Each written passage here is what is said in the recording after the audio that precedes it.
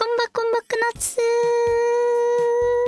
Today, let's learn how to use the Cam Path Editor. First, take any car and drive it any way you want. For this video, I'm driving the Hell Kitty Kanta, and I just recorded some gameplay and saved it using the replay tool found on the UI app.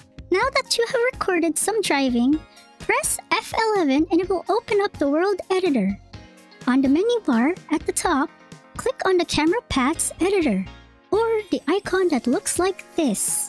Click new and select the replay you want to use or link it to the current replay. Now comes the boring. Uncheck allow manual FOV change. This allows you to modify the field of view. Then aim the camera wherever you want it to be. In this example, I wanted to record the front of the camera. So I clicked Shift C for free camera and placed it where I want. Then for every other second, I placed the marker of where I want this camera to go. Depending on how long your replay is, your camera path should look something like this.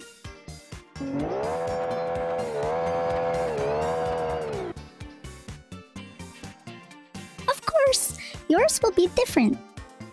To pause or resume, press J. Now that you've accomplished the boring, it's now time to record using whatever software you use.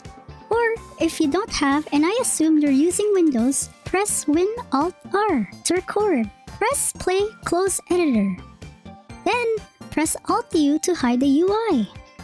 Now that the UI is hidden, press J to unpause. And this is the result.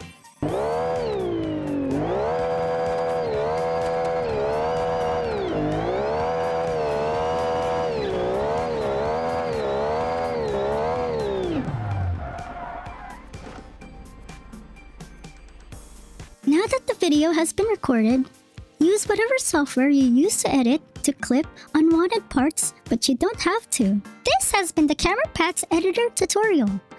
I hope you found this useful. Anyway, that's it for now. Pakam!